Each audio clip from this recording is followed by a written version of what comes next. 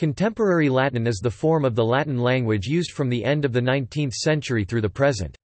Various kinds of contemporary Latin can be distinguished. On the one hand there is its survival in areas such as taxonomy as the result of the widespread presence of the language in the New Latin era. This is usually found in the form of mere words or phrases used in the general context of other languages. On the other hand, there is the use of Latin as a language in its own right as a full-fledged means of expression. Living or spoken Latin, being the most specific development of Latin in the contemporary context, is the primary subject of this article. Token Latin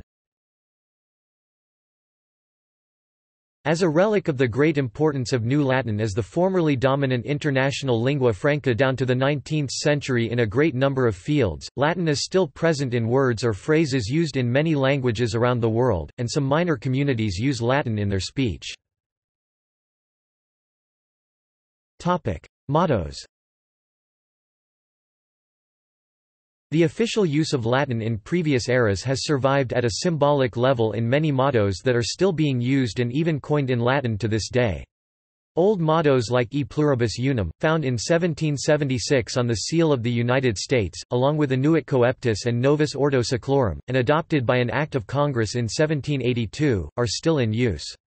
Similarly, current pound sterling coins are minted with the Latin inscription Elizabeth II DG Reg FD Dei Gratia Regina, Fidei Defensor, i.e. Queen by the grace of God, Defender of the Faith. The official motto of the multilingual European Union, adopted as recently as 2000, is the Latin in Varietate Concordia. Similarly, the motto on the Canadian Victoria Cross is in Latin, perhaps due to Canada's bilingual status. Topic: Fixed phrases. Some common phrases that are still in use in many languages have remained fixed in Latin, like the well-known dramatis personae or habeas corpus. Topic: In science. In fields as varied as mathematics, physics, astronomy, medicine, pharmacy, and biology, Latin still provides internationally accepted names of concepts, forces, objects, and organisms in the natural world.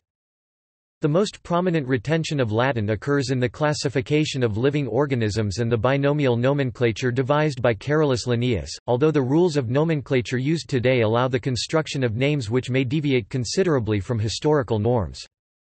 Another continuation is the use of Latin names for the constellations and celestial objects used in the bare designations of stars, as well as planets and satellites, whose surface features have been given Latin selenographic toponyms since the 17th century.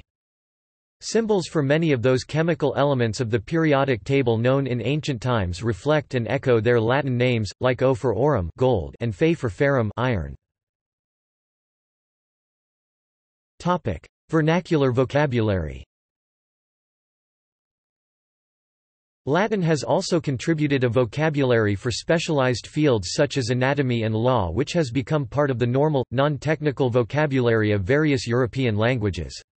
Latin continues to be used to form international scientific vocabulary and classical compounds. Separately, more than 56% of the vocabulary used in English today derives ultimately from Latin, either directly 28.24% or through French 28.30%. Topic: Ecclesiastical Latin. The Catholic Church has continued to use Latin. Two main areas can be distinguished. One is its use for the official version of all documents issued by Vatican City, which has remained intact to the present. Although documents are first drafted in various vernaculars mostly Italian, the official version is written in Latin by the Latin Letters Office. The other is its use for the liturgy, which has diminished after the Second Vatican Council of 1962–65, but seems to have recently seen some resurgence, sponsored in part by Pope Benedict XVI.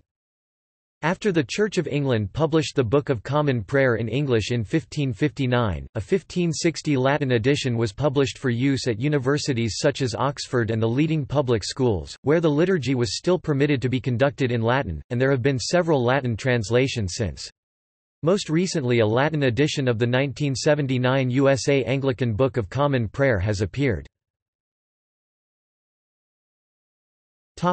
Academic Latin Latin has also survived to some extent in the context of classical scholarship. Some classical periodicals, like Mnemosyne and the German Hermes, to this day accept articles in Latin for publication. Latin is used in most of the introductions to the critical editions of ancient authors in the Oxford Classical Texts series, and it is also nearly always used for the apparatus criticus of ancient Greek and Latin texts. The university orator at the University of Cambridge makes a speech in Latin marking the achievements of each of the honorands at the annual honorary degree congregations, as does the public orator at the Encaenia ceremony at the University of Oxford. Harvard and Princeton also have Latin salutatory commencement addresses every year. The Charles University in Prague and many other universities around the world conduct the awarding of their doctoral degrees in Latin. Other universities and other schools issue diplomas written in Latin. In addition to the above, Brown, Sewanee, and Bard College also hold in Latin a portion of their graduation ceremonies. The famous song Gaudeamus Igitur is acknowledged as the anthem of academia and is sung at university opening or graduation ceremonies throughout Europe.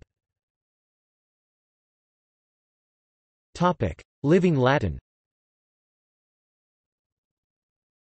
Living Latin Latinitas viva in Latin itself, also known as spoken Latin, is an effort to revive Latin as a spoken language and as the vehicle for contemporary communication and publication. Involvement in this Latin revival can be a mere hobby or extend to more serious projects for restoring its former role as an international auxiliary language. Origins After the decline of Latin at the end of the New Latin era started to be perceived, there were attempts to counteract the decline and to revitalize the use of Latin for international communication. In 1815, Miguel Olmo wrote a booklet proposing Latin as the common language for Europe, with the title Otia Villaudricensia ad octo magnos principes qui vindobane anno mdcccxv pacem orbis sanxerunt, de lingua latina et civitate latina fundanda liber singularis. Leisure of Villaudric to the Eight Great Princes who ordained world peace at Vienna in 1815, an extraordinary book about the Latin language and a Latin state to be founded. In the late 19th century, Latin periodicals advocating the revived use of Latin as an international language started to appear. Between 1889 and 1895, Karl Heinrich Ulrichs published in Italy his Alaudae. This publication was followed by the Vox Urbis, De Literis et Bonus Artibus Commentarius, published by the architect and engineer Aristide Leonori from 1898, twice a month, until 1913, one year before the outbreak of World War I.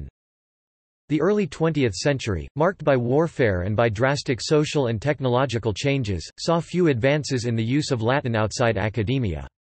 Following the beginnings of the reintegration of post-war Europe, however, Latin revivalism gained some strength. One of its main promoters was the former dean of the University of Nancy France, Professor.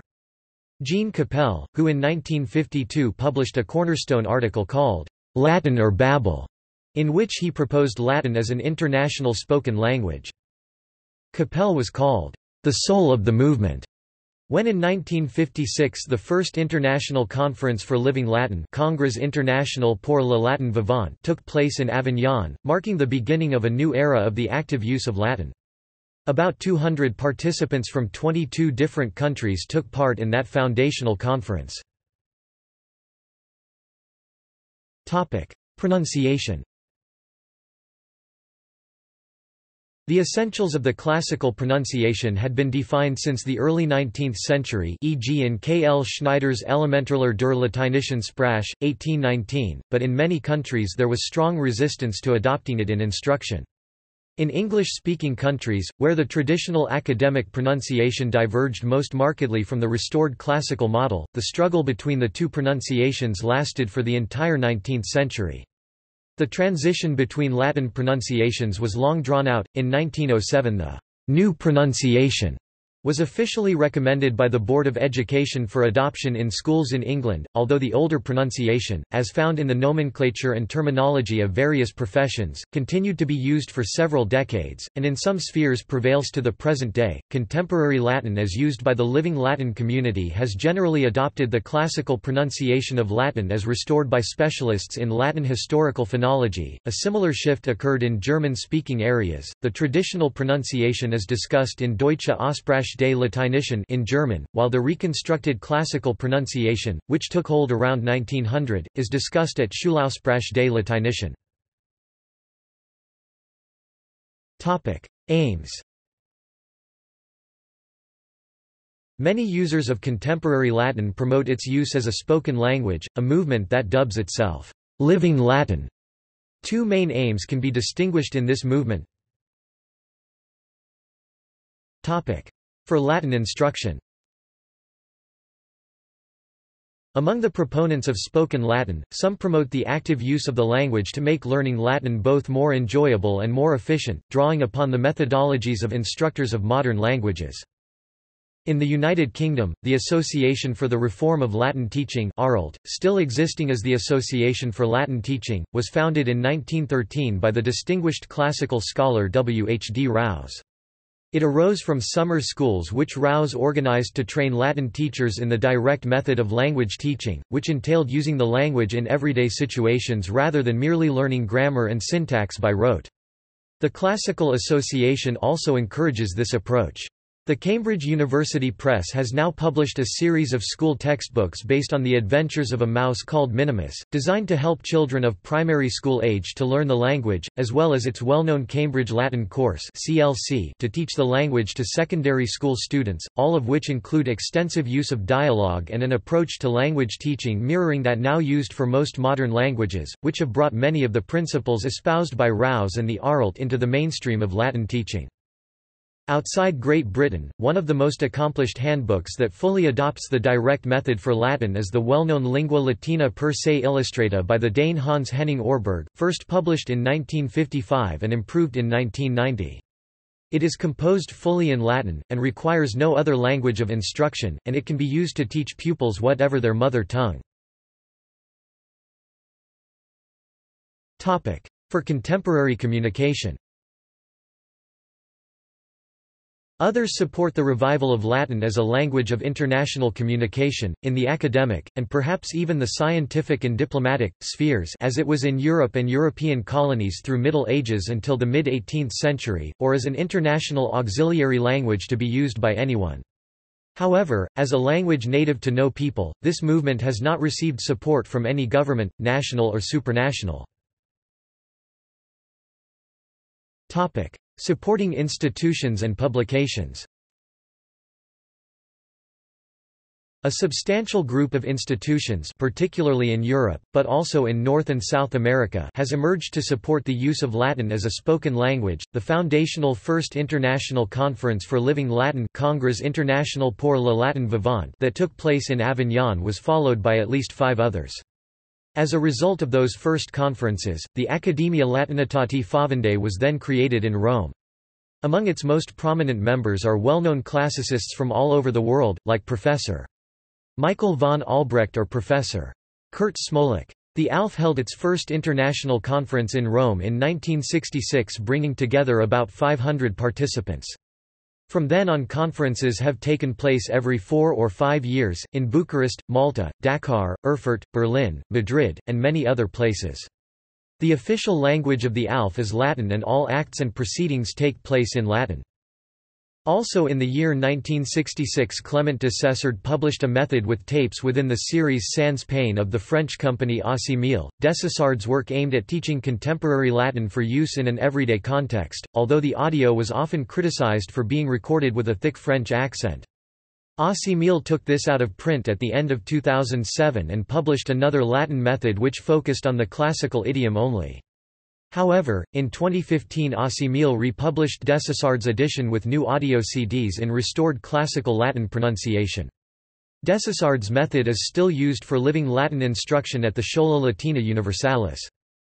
In 1986 the Belgian radiologist Gaius Licoppe, who had discovered the contemporary use of Latin and learnt how to speak it thanks to Desessard's method, founded in Brussels the Fundatio Melissa for the promotion of Latin teaching and use for communication. In Germany, Marius Alexa and Inga Pessera Grimm founded in September 1987 the Latinitati Vivae Provehendae Associatio (LVPA), or Association for the Promotion of Living Latin, the first Septimana Latina Amoeneburgensis Amöneburg Latin Week Was organized in 1989 at Amöneburg, near Marburg in Germany, by Mechthild Hoffmann and Robert Mayer.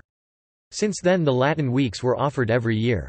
In addition, members of the supporting association Septimanae Latinae Europae European Latin Weeks published a textbook named Piper Salve that contains dialogues in modern everyday Latin. At the Academia Vivarium Novum located in Rome, Italy, all classes are taught by faculty fluent in Latin or Ancient Greek, and resident students speak in Latin or Greek at all times outside class.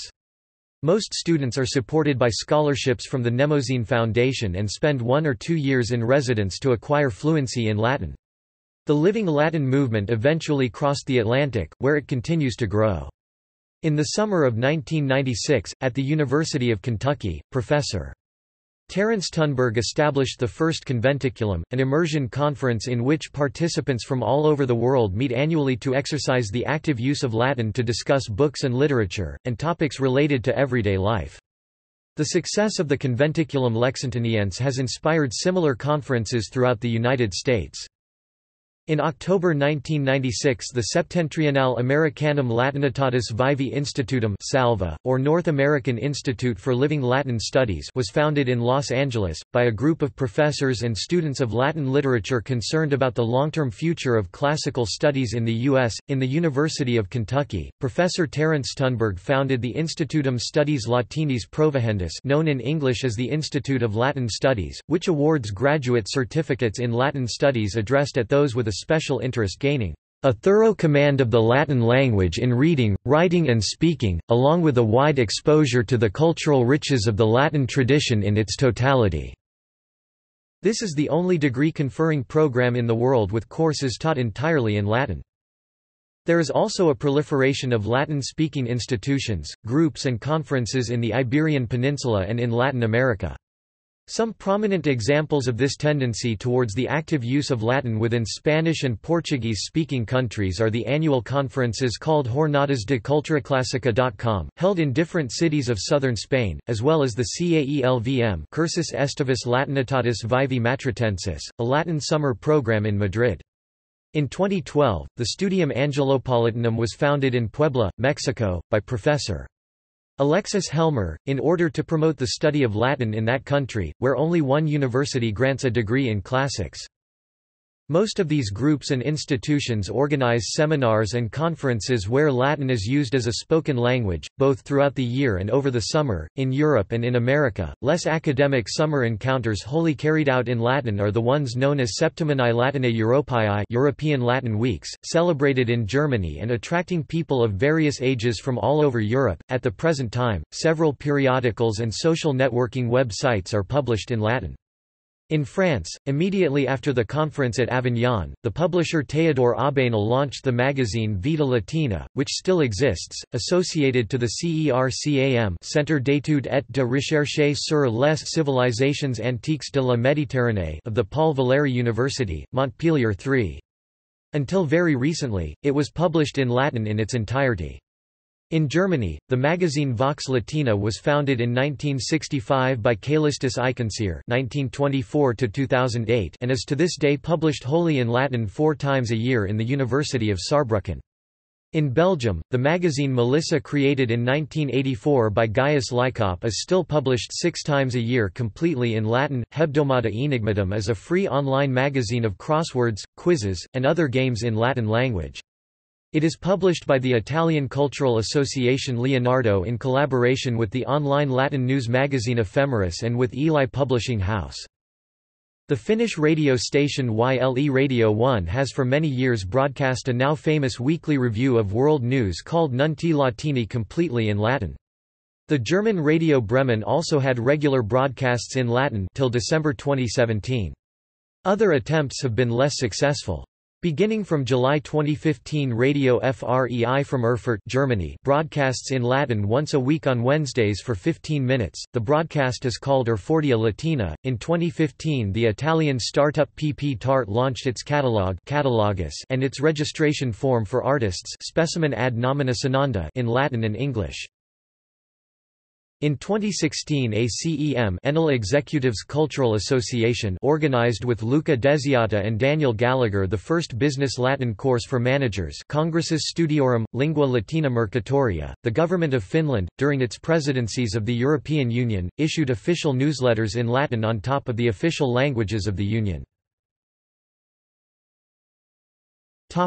On the Internet The emergence of the Internet on a global scale in the 1990s provided a great tool for the flourishing of communication in Latin, and in February 1996 a Polish Latinist from Warsaw Poland, Konrad M. Kokoszkiewicz, founded what is still today the most populated and successful Latin-only email list on the Internet, the Grex Latine Loquentium. Subsequently, the Nuntii Latini of YLE Radio 1 would also create a discussion list called YLE Colloquia Latina. The Circulus Latinus Panormitanus of Palermo Italy went a step further creating the first online chat in Latin called the Locutorium. In February 2003 Konrad M. Kokoszkiewicz published an online glossary with his proposals for some computer terms in Latin under the title of Vocabula Computatralia.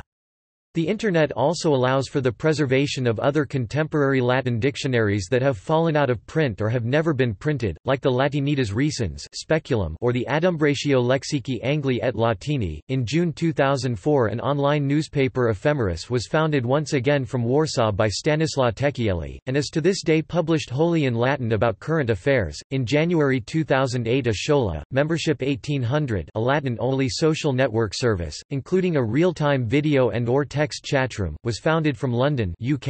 .A number of Latin web portals, websites, and blogs in Latin have developed, like Lingua Latina Aeterna from Russia or Verba et Facta from somewhere in the US. The Internet also provides tools like Latin spell checkers for contemporary Latin writers, or scansion tools for contemporary Latin poets. Some websites, such as Google and Facebook, provide Latin as a language option. There is a mud text game in Latin called Labyrinthus Latinus aimed at uniting people interested in the language. The website is shut down but the game is still available at labyrinthus.latinus.imp.ch port 3333. In addition, the video games Minecraft, OpenTTD, and the Battle for Wesnoth provide Latin as a language option. There is even a Latin Wikipedia, although discussions are held not only in Latin but in German, English, and other languages as well. Nearly 200 active editors work on the project. There are nearly 100,000 articles on topics ranging from ancient Rome to mathematics, Tolkien's fiction, and geography. Those in particularly good Latin, currently about 10% of the whole, are marked. In public spaces Although less so than in previous eras, contemporary Latin has also been used for public notices in public spaces. The Wallsend metro station of the Tyne and Wear metro has signs in Latin. The Vatican City has an automated teller machine with instructions in Latin. Topic: Original production Some contemporary works have been produced originally in Latin, most overwhelmingly poetry, but also prose, as well as music or cinema. They include Poetry 1924. Carminum Libri Quatuor by Tomás Viñas 1946. Carmina Latina by A. Pinto de Carvalho 1954. Vox Humana by Johannes Alexander Gärtner 1962. Pegasus Tolutarius by Henry C. Schnur aka C. Arius Nurus 1966. Suaviloquia by January Novak 1966. Cantus Firmus by Johannes Alexander Gärtner 1972. Carmina by Traian Lazarescu 1991. Periegesis Amatoria by Genevieve Im 1992. Harmonica Vitrea by Anna Elissa Radke. Topic: Prose. 1948. Graecarum Literarum Historia by Antonio Delia 1952. Latinarum Literarum Historia by Antonio Delia, 1961. De sacerdotibus sacerdotiisque Alexandri Magni et Lagidarum eponymus by Joseph IJsewijn, 1965. Sententia by Alain van Dievoet pen name, Alanus Divutius, 1966. Mystagogus Lycius, Sive de Historia Linguae Lyciorum by Wolfgang Jenniges, 2011. Cap T, Fabula Manipeo Hoffmanniana Americana by Stephen A. Berard pen name, Stephanus Berard. Topic music 1927. Oedipus Rex by Igor Stravinsky an opera oratorio with libretto, based on Sophocles' tragedy, prepared in French by Jean Cocteau and given its final Latin form by Abbé Jean Daniélou, 1994. ISTA, by Latin hip-hop band ISTA, 2011. Audio, video, disco by French electronic group Justice. Topic cinema 1976.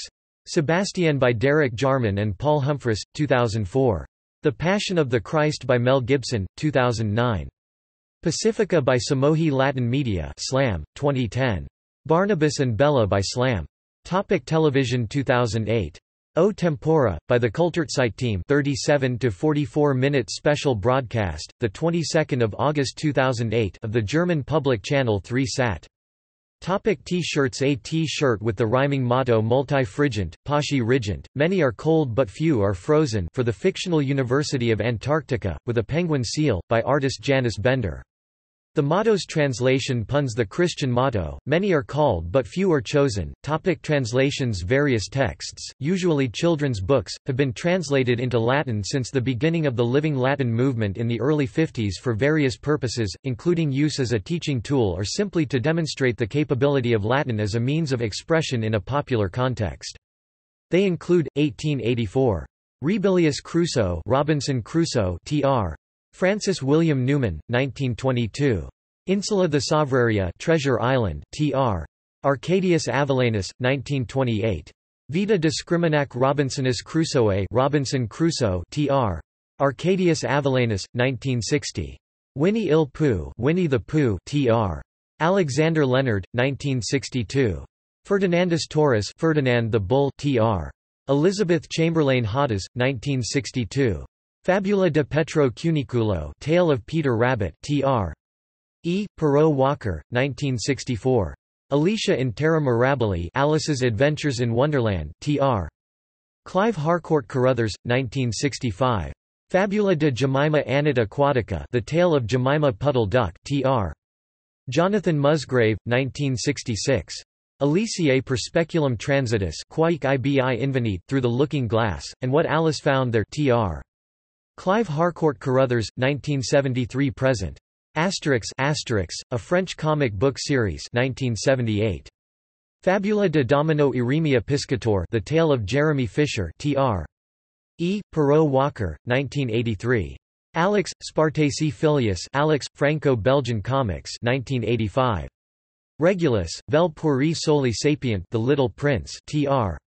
Augusto Haury 1987. De Titini et Miluli Facinoribus, de Insula Nigra Tintin, Franco-Belgian Comics 1987.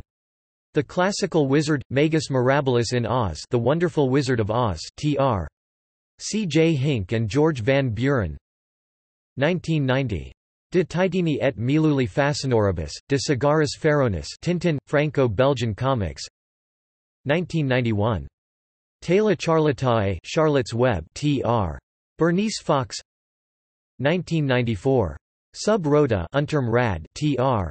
Sigrid C. Albert 1998. Quomodo invidiosilis nomini Grinchus Christi Natalem abrogaveret How the Grinch Stole Christmas tr. Jennifer Morrish Tunberg, Terence O. Tunberg 1998. Winnie il Pooh Semper Lude The House at Pooh Corner tr. Brian Staples 2000. Cattus Petasatus The Cat in the Hat tr. Jennifer Morrish Tunberg, Terence O. Tunberg 2002. Arbor Alma The Giving Tree tr. Terence O. Tunberg, Jennifer Morrish Tunberg 2003. Virent Ova, Viret Perna Green Eggs and Ham tr. Terence O. Tunberg, Jennifer Morrish Tunberg 2003. Harrius Potter et Philosophi Lapis Harry Potter and the Philosopher's Stone tr. Peter Needham 2005. Tres Mures Caeci The Three Blind Mice tr. David C. Noe 2006. Harrius Potter et Camera Secretorum Harry Potter and the Chamber of Secrets tr. Peter Needham 2007. Olivia, The Essential Latin Edition tr. Amy High 2009. Over 265 illustrated children's books in Latin have been published on the Tar Heel Reader website. 2009. Marina, Murex et Aurum Marina, La Pourpre et l'Or tr. Claude Aziza and Kathy Rousset 2009. Mundo Novo – Adaptation of A Whole New World from Disney's Aladdin 2012. Hobbitus Ille The Hobbit tr. Mark Walker Topic. Dictionaries, glossaries, and phrase books for contemporary Latin 1990. Latin for All Occasions, a book by Henry Beard, attempts to find Latin equivalents for contemporary catchphrases. 1992–97. Neues Latin Lexicon, Lexicon Recentis Latinitatis by Karl Egger, containing more than 15,000 words for contemporary everyday life. 1998. Imaginum Vocabularium Latinum by Sigrid Albert 1999. Piper Salve by Robert Mayer, Mechthild Hoffman, Klaus Salmen, Sabine Mahr, Sascha Tragiser, Dominika Rauscher, Thomas Golshauser 2010. Visuelles Wörterbuch Latin Deutsch by Dorling Kindersley, translated by Robert Mayer 2012. Septimana Latina Volume 1 plus 2 edited by Mechthild Hoffman and Robert Mayer based on Piper Salve Topic. See also. Reginald Foster Latinist. Botanical Latin. Latin translations of modern literature. Latino sine flexione. Interlingua de Iala. List of songs with Latin lyrics. Topic. Notes and references. Topic. Further reading English W. H. S. Jones, M.A. Via Nova or the Application of the Direct Method to Latin and Greek, Cambridge University Press 1915. Joseph IJsewijn, A Companion to Neo-Latin Studies, 1977. Spanish José Juan del Cal, Latin Hoy, published by the Instituto Superior Juan XXIII, Bahía Blanca, Argentina, 1998. Microsoft Word, Latin Hoy.doc. PDF. 123.edu.ar. Retrieved 10 July 2017. French Guy Licoppe, Pourquoi le latin aujourd'hui, cur adhuc discenda sit lingua latina, S. L., 1989 Françoise Waquet, Le Latin au l'Empire d'une signe, XVIEXXE siècle, Paris, Albin Michel, 1998. Guy Licoppe, Le Latin et la politique, Les avatars du latin à travers les ages, Brussels, 2003. German Wilfried Stroh, Latin ist tot, es lebe Latin, Kleine Geschichte einer großen Sprache ISBN 9783471788295